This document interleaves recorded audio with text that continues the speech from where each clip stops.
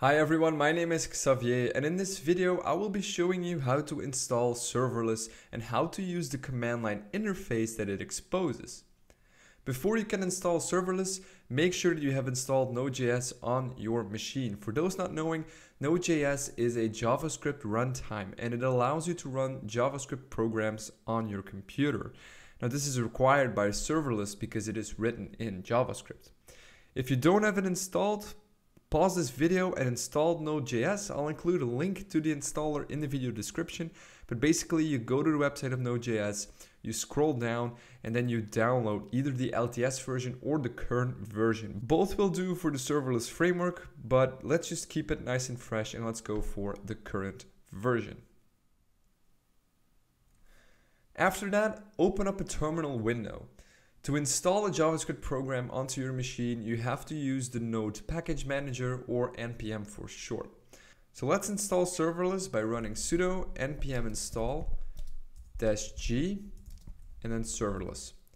The G option tells npm to install it as a global package available to the entire system. So when I do that, I will now enter my password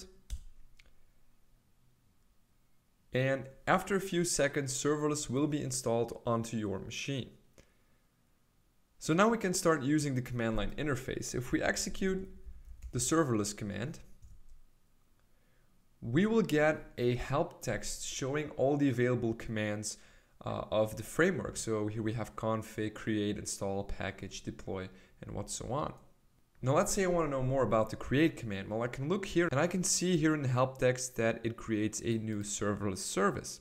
But you can get even more information. So I can say serverless create, and then I can say dash dash help to pull up the help function of this particular command.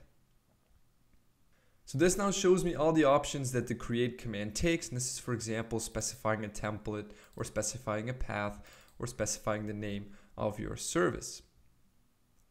So the idea is simple. You type serverless followed by a command that you want to be executed along with any of the parameters that that command might take. Now, if you're like me, you'll find that typing serverless is quite time consuming. So the developers of serverless have also included a shortcut. So instead of typing serverless, you can also type SLS.